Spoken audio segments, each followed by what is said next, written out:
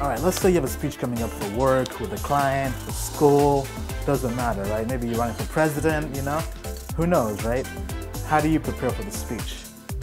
You want to do three things, right? The first thing is practice the environment, right? What does that mean? If you're going to be speaking to a large audience, when you're practicing your speech, picture a large audience, right? If you're going to be in a stadium, picture you're in a stadium. If you're going to be in an office, envision you're in an office. Walk around like you're in an office. If you, if you have to be restricted to a podium, then practice as if you're in a podium, right? So whatever your environment is, practice that environment. You dig? Two, warm up your body uh, with exercises, right?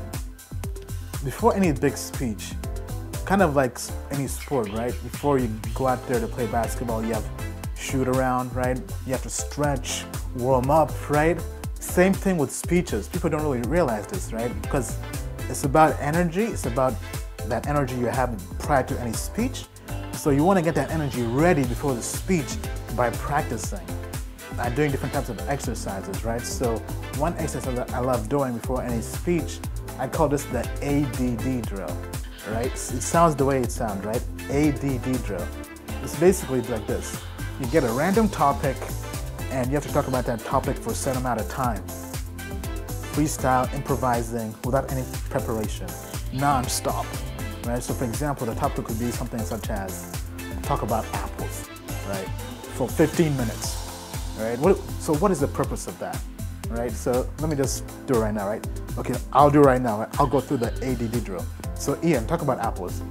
Oh my God, I love apples, dude. I was walking down the street this one time and this apple, this apple dropped in my head, right? And I picked it up, I'm like, a green apple? How lucky is that? Right, so I picked up the apple and I had a bite.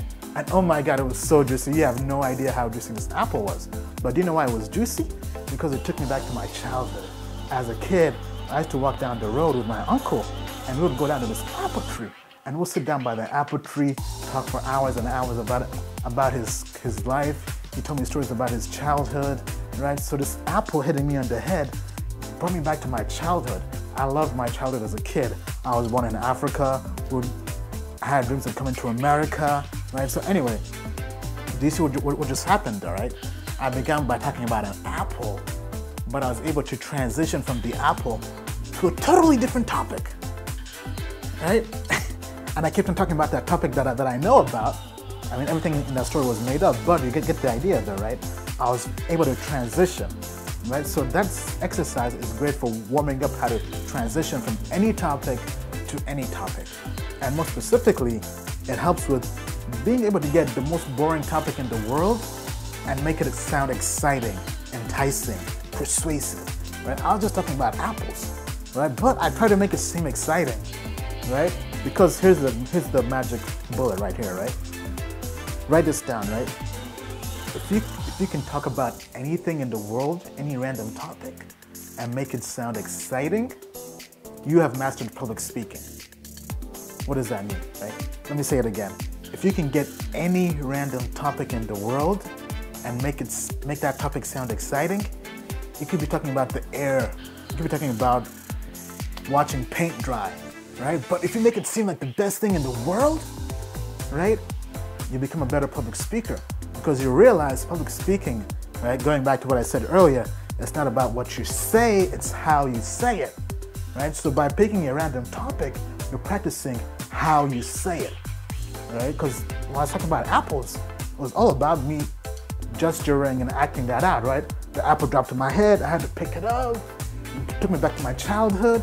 I'm basically kind of, uh, kind of like how a monkey swings from one, one monkey branch to the other monkey branch, right? I'm basically jumping from one topic to the next topic to the next topic, right? I'm learning how to connect the dots, right? A second exercise I love, right, is basically getting one totally random topic and a second totally random topic and trying to jump from that topic to this topic in, in 60 seconds, right? So somebody will pick something such as talk about uh, a Mercedes-Benz and going to the moon, right? And you have 60 seconds to transition from this topic to the other topic, right? This is an ex exercise you can do, right? So these different things warm you up to get the blood flowing, the blood boiling, right? So when you go out there on stage, you have that mojo, you have that rap, right? It's like you've been in the gym taking jump shots all, all day, right? So when the time the actual game comes there, right? Whether you're trying to give a speech where it's impromptu or what, whether you're doing something else, right? Everything is flowing freely, naturally, effortlessly.